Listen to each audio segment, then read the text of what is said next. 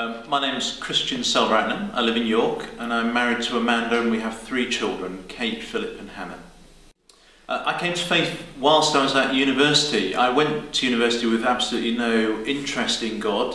Uh, my family background hadn't been church going, but I had a group of friends that I really enjoyed being with uh, on my course and they were all Christians. And uh, I kind of decided that I would carry on with them and I'd meet up with them, even though they were a bit religious. They invited me along to a, a weekly meeting they had where they would look at the Bible, they'd talk about their lives, uh, and sometimes they prayed. And uh, initially I went just as an observer, just to see what was happening. I was, I was planning really that I would put them right about what was wrong and mistaken in their lives.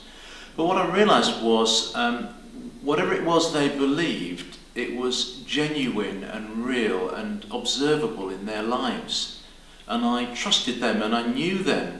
And that told me that they had something very real going on.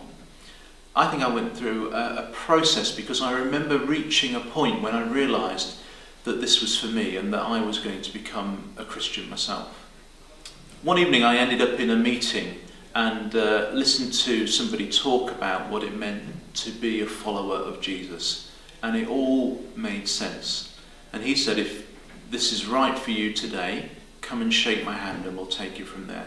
I shook his hand and the next day we met up and had a bag of chips outside the chip shop. And we talked about what it meant to follow Jesus. And uh, those steps began to sort of unfold in my life.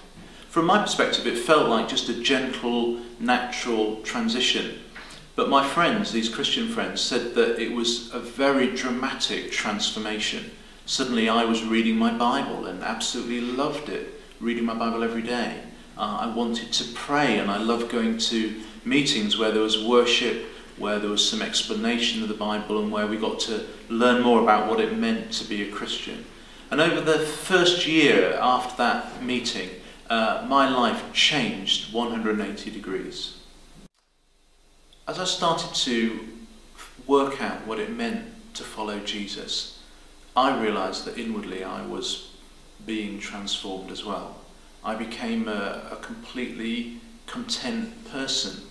I realised that I was far more positive. Um, my interactions with people were very different. I, I, I went from being a very impatient and probably very selfish person somebody uh, whose heart could be moved by other people's need and I wanted to do something or be involved or be able to help.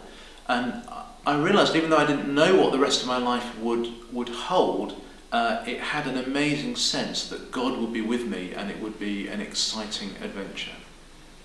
Being involved in a, a new activity from St Michael of Belfrey Church here in York, uh, a cafe style church that was meeting to provide a place for people who didn't want to go to church to find out more about God, told me that this was something I wanted to be involved in wholeheartedly.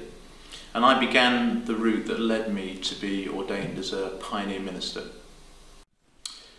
My mission is my own faith journey to help people who have no interest in God come to the place where they realise how important and relevant it is to their lives and so that they can be involved in spreading that to other people.